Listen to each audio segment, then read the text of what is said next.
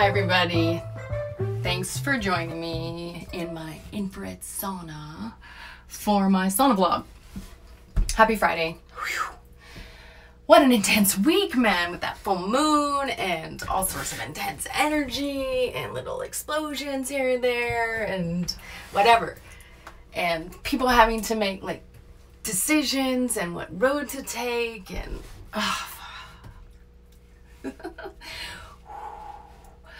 breathe.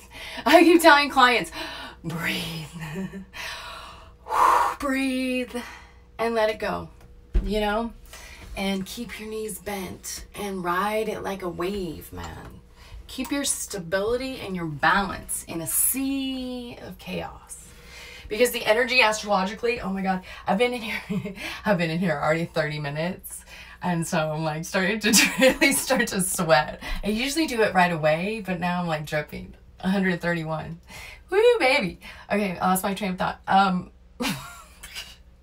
it's Friday! but people having to make decisions in and being faced with new paths that were unexpected, whether relationships or projects or careers or finances or whatever. And whew, the challenge is coping with change, okay? And I think I said yesterday or whatever that change is the only constant, and so we might as well get used to it and learn to navigate it and the tricks to navigating it and to using energy to your advantage to create create the life you want amidst change. Because the universe is forcing us to tell it what we want. What do we want? And so get it do it make it happen you know? Like if you want change what change do you want in your life? And then you see it and then you start to manifest it. Oh my lord i'm sweating.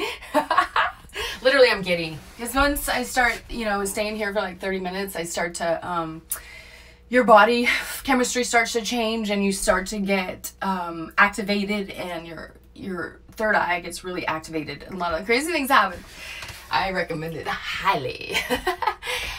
Whew, anyway, so I'm gonna go to the beach today because that's one of the things that really clears my energy and clears my aura of because there's a lot of things that are energetically very low vibration that are around. A lot of people that we are interacting with are caught up in those roles of drama and stuff and the lower vibrational energies and that gets stuck in your aura. And so I'm going to go to the beach and clear that today. So breathe, and nurture yourself this weekend. Do things that make you feel good and happy and at peace. All right, because, um, you know, changes are coming. And so we just have to get with that and decide what it is that we want because it's coming. Changes are coming.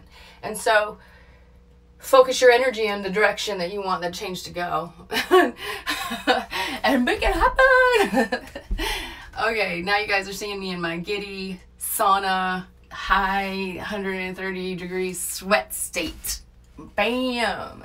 It totally activates though. It really does. It activates your third eye and it.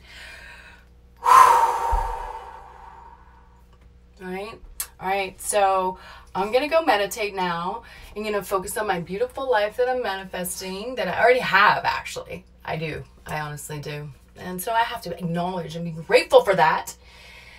And I am so grateful.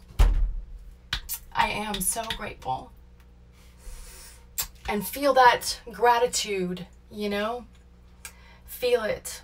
Because when we're forced to decisions, be grateful to be able to change for the better, you know?